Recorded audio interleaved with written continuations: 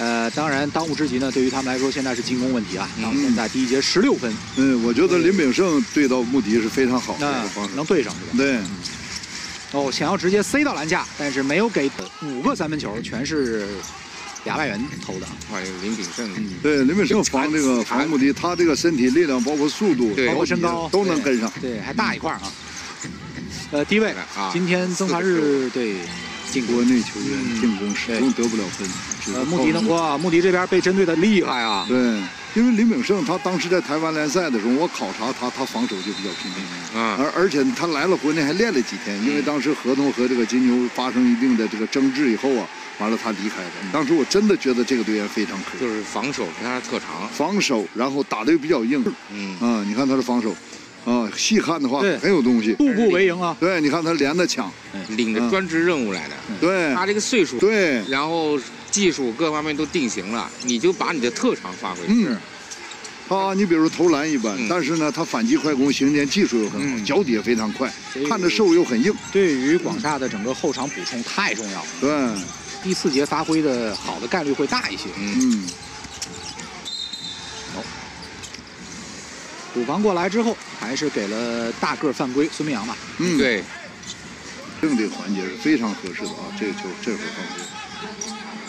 但是怎样用好林炳胜，这个是个很大的学问。对于王博指导来说，其实在这个赛季也得可以尝试一下，是不是更加大胆一些，嗯，排多。情况啊，就是说，无论是同曦的这个球，嗯哎，打呀，同曦的他一下不打就很难了，今天立啊效率啊，也不是太高。没法嗯看。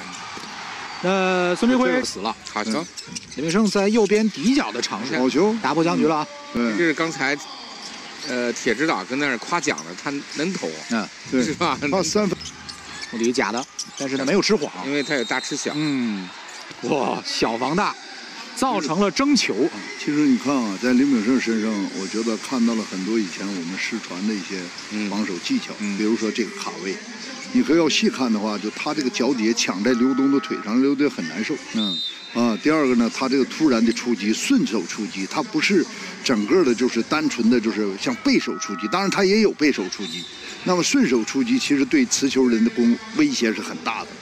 再有就是什么，他整个的逼抢保持的距离，包括对这个你突破的路线的卡位这个用力程度，其实我真的看到了很多就是，呃，我们那老一辈人就是我们所谓的复古吧，对对防守的精髓的一些东西。对，就是复古，但是留下的好的习惯。